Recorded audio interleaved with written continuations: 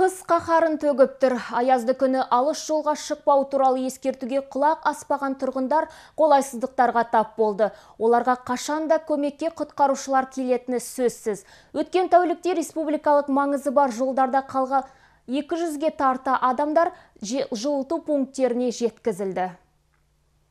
Жақсы ауданында екі оқиға орын алды. Жақсы есіл босылық ташуында автобус сынып қалған. Астана Челябі бағытын бетке алған көлік ішінде 70-ке жуық адам болған. Оның 17-сі бала. Бәрі Өзбекстан азаматтары. Арада 3 сағат өткенде осы елдің тағы 54 азаматы дәл осы жолда құтқарылды. Апатты құтқару жұмыстарын сәтті аяқтаған Жақсы ауданының құтқарушылары жолдарда жәрдемдесу эстафетасын атбасарлық әріптестеріне берді деуге болады. Алматы Екатеринбург тасжолының бойында Екатеринбургке беттеген тағы бір автобус сынып қалады. Ішінде тәжікстанның жетпістен астам азаматы болған. Бәрі жылыту пунктіне жеткізілді. Ешқайсысына медициналық көмек қажет болған жоқ. Сондай ақ өткен түнде астана щучинск тасжолының бойындағы жылыту бекетіне екі қазақстандық жеткізілді.